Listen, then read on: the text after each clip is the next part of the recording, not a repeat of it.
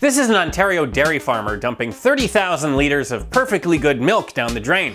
They, they make us dump it.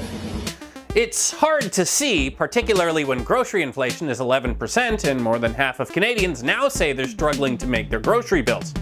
And Canada does this all the time.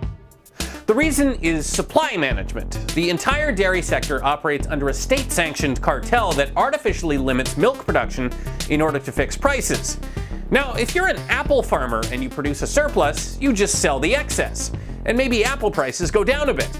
But we can't have milk prices going down, so that surplus goes in the sewer. How you guys dare put this garbage in the market for $7 a liter and think that that's okay?